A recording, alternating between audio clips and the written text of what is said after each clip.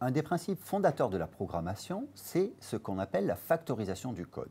Qu'est-ce que la factorisation du code? Ça veut dire simplement écrire du code une seule fois et le réutiliser quand on en a besoin.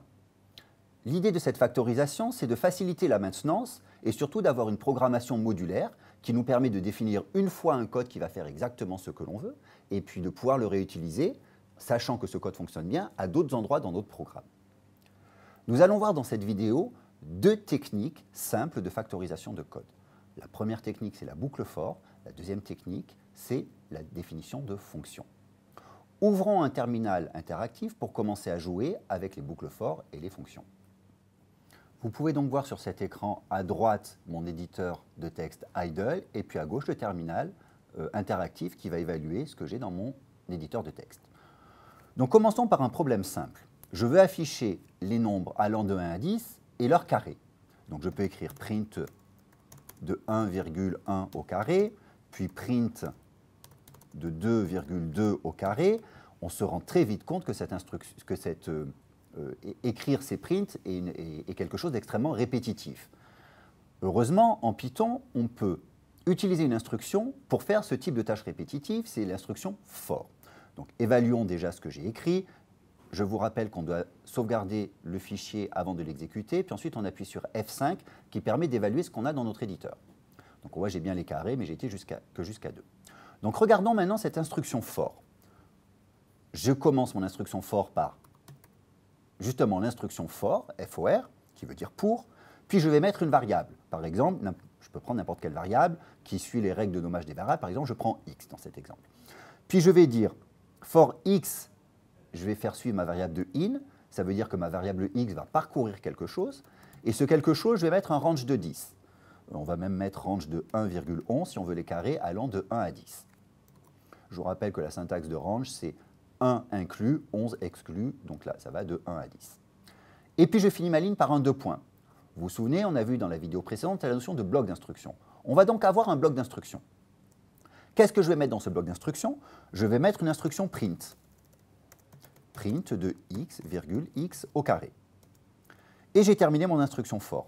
À la fin, j'écris print, euh, on est sorti sortie de la boucle for. Exécutons maintenant ce code. Donc je le sauvegarde avec CTRL S et j'appuie sur F5 pour l'exécuter. On voit que j'ai mes carrés qui s'affichent, j'ai mes nombres qui s'affichent de 1 à 10 et leurs carrés à côté qui vont de 1 à 100. Et à la fin, on est sorti, s'affiche. Donc que s'est-il passé exactement? Ma boucle for va parcourir tous les éléments de la séquence qui est située à côté du in. Donc ma séquence, c'est un range.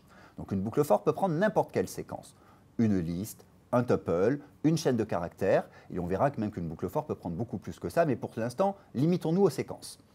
Donc la boucle for va faire parcourir ma variable x, va, faire, parcourir ma variable x tous les éléments de la séquence, du premier élément jusqu'au dernier élément. À chaque fois que je récupère l'élément d'une séquence, j'exécute toutes les instructions qui sont dans mon bloc d'instructions.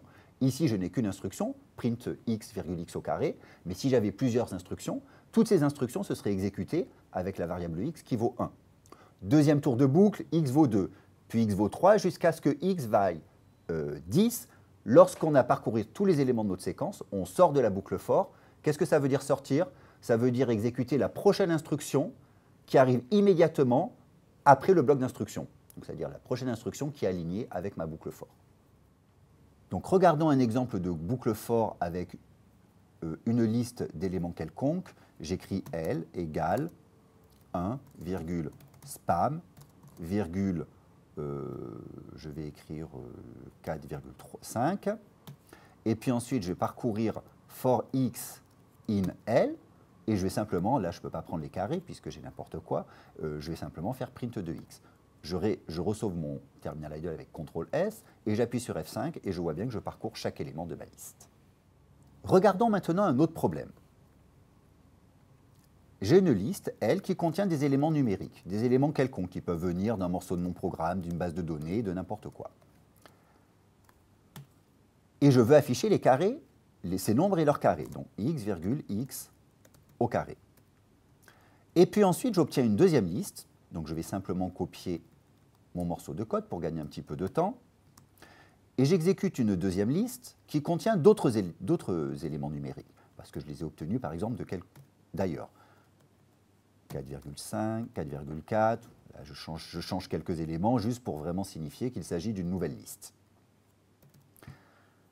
On remarque que je fais deux fois exactement la même opération. J'ai deux listes différentes, mais après chaque liste, je vais faire la même opération, la même boucle for, for x in L, prime de x, x au carré. Encore une fois, la boucle for nous a permis de factoriser beaucoup de code. Je n'ai pas besoin d'écrire pour chaque valeur de ma liste un print et un print de x au carré. Par contre, je répète deux fois ma boucle for. Donc exécutons ce code, nous allons voir qu'il s'exécute parfaitement. Par contre, j'écris deux fois ma boucle for. En Python, je peux faire ce qu'on appelle une fonction.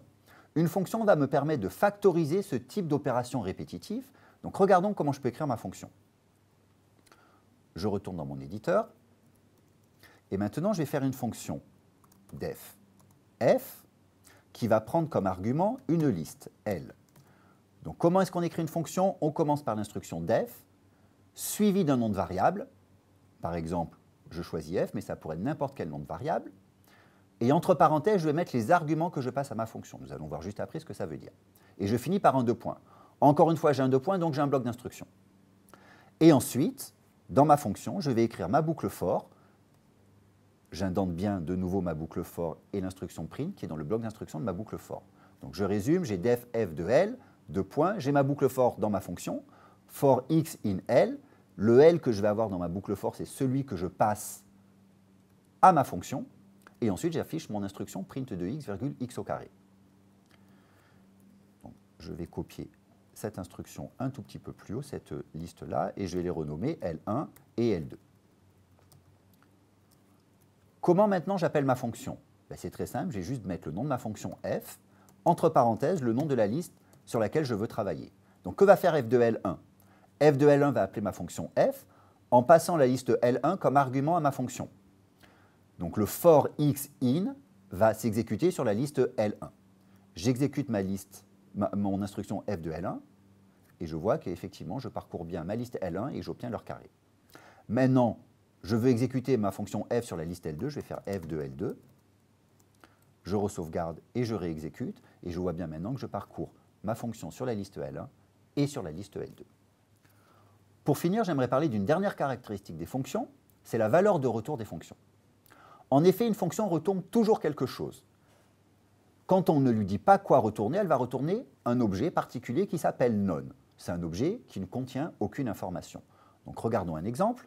Je retourne dans mon terminal interactif, j'ai bien ma fonction f, je fais f de L1 qui s'exécute. Par contre, si je fais print f de L1, le print va exécuter la valeur de retour de ma fonction. Dans ce cas-là, c'est quoi? C'est none. Donc j'ai bien évidemment f qui s'exécute, et la dernière instruction, c'est none. Je peux spécifier une valeur de retour à ma fonction. Comment je fais ça avec l'instruction return?